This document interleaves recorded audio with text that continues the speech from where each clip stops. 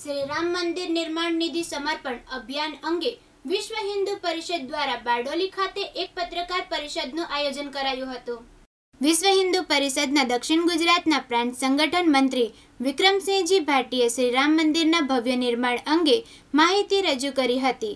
રામ મંદિર નિર્માણમાં દરેક હિન્દુનો સહયોગ મળે તે હેતુ સાથે દેશના ચાર લાખ ગામો સુધી લાભ પહોંચાડાય તે પ્રકારનું આયોજન કરવામાં આવ્યું છે, જેમાં દક્ષિણ ગુજરાતના છ હજારથી વધુ ગામોનો સમાવેશ કરવામાં આવ્યો છે. દેશભરમાં ચૌદ જાન્યુઆરીથી શ્રી રામ મંદિર નિધિ સમર્પણ સમિતિ દ્વારા નિધિ અભિયાન શરૂ કરવામાં આવનાર છે. શ્રી રામ જન્મભૂમિ તીર્થ ક્ષેત્ર દ્વારા રામ જન્મસ્થાન પર ભવ્ય મંદિરના નિર્માણના અર્થે સંપૂર્ણ દેશભરમાં શ્રી રામ મંદિર નીતિ સમર્પણ સમિતિ દ્વારા સંપૂર્ણ હિન્દુ સમાજના સહયોગથી મંદિર બને. કારણ કે રામ જન્મભૂમિના આંદોલનના કાલખંડમાં ચારસો બાણું વર્ષના ઇતિહાસમાં લાખો હિન્દુ સમાજના શ્રેષ્ઠીઓ રામ જન્મભૂમિ માટે બલિદાન થયા થયા એટલે નિર્માણનું મંદિર મંદિર પર નિર્માણ લાખો રામ ભક્તોના દ્વારા થવું જોઈએ.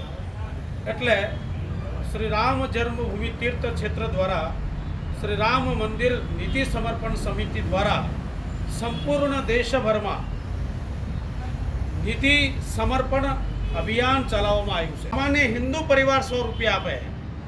જેને ભગવાન રામે ખૂબ આપ્યું છે કે હજાર, દસ હજાર, લાખ, દસ લાખ જેવી જેમાં શક્તિ આ સમસ્ત હિન્દુઓના સહયોગથી આ ભવ્ય અને દિવ્ય મંદિર બનવાનું છે. આ મંદિર નહીં પણ આ ભારતનું રાષ્ટ્ર મંદિર બનવાનું છે. રાષ્ટ્રીય સ્વાભિમાનની પુનર્પ્રતિષ્ઠાનું કેન્દ્ર બનવાનું છે. આ રામ જન્મસ્થાન પાંચસો વર્ષના હિન્દુ સમાજના વિજયનું પ્રતીક છે. એટલે આ મંદિર એક રાષ્ટ્ર મંદિર જ્યારે બનવા જઈ રહ્યું છે, ત્યારે ભારતના ચાર લાખ ગાઉ અગિયાર કરોડ હિન્દુ પરિવારનો સહયોગ લેવામાં આવશે.